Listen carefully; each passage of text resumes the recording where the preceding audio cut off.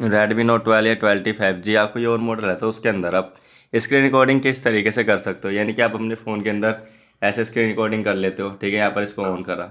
तो यहाँ पर आपकी स्क्रीन रिकॉर्डिंग में आपकी वॉइस आ रही है, या डिवाइस की वॉइस आ रही है, या क्वालिटी इसकी कैसी आ रही है, आप कोई चीज़ को टैप कर रहे हो, ठीक है? यहाँ पर आपको डोर शो नहीं कर रहा। तो आप एकदम प्रोफेशनल तरीके से अपनी स्क्रीन रिकॉर्डिंग करना चाहते हो आप यहाँ पर स्क्रीन रिकॉर्डिंग में कुछ भी नहीं आया होगा। तो यहाँ पर हम इसको ऑन करें। ठीक है, आप देखते हो यहाँ पर मैं इतनी देर से बोला था, लेकिन कुछ भी नहीं आया इसके अंदर। तो यहाँ पर मेरा वॉल्यूम कम नहीं है, आप देखते हो काफ़ी है।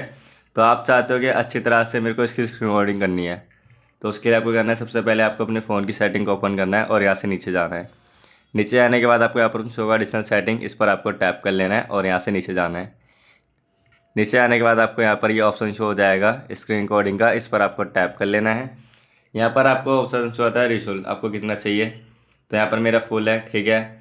यहाँ पर वीडियो क्वालिटी तो यहाँ पर मेरी सौ एम है बाकी हम इसको सौ एम प्रेस कर देंगे। उसके बाद आपको यहाँ पर और मिल जाता है। ये मेरा ऑटो ठीक है?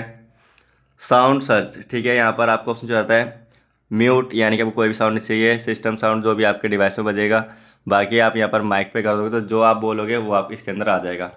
फ्रेम कितना चाहिए? तो यहाँ पर मैं फ्रेम कर लेता हूँ नाइन्टी पे, ठीक है? यहाँ पर अगर आप किसी भी चीज़ को टच कर रहे हो और आपको वहाँ पर शो चाहिए तो इसको आपको टच कर लेना है। इन दोनों को ऑन कर लेना है।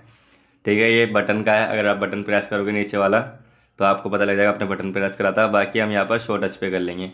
इसके बाद हम इसको, मैंने ब्राइटनेस कम कर दी। तो यहाँ पर हम ब्राइटनेस को फुल करेंगे। उसके बाद दोबारा हम इसको ऑन करेंगे। ठीक है, अब ऑन करा।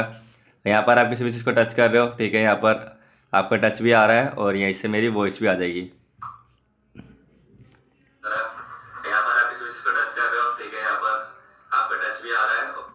तो इस तरीके से आप अपने फ़ोन के अंदर फुल स्क्रीन रिकॉर्डिंग कर सकते हो।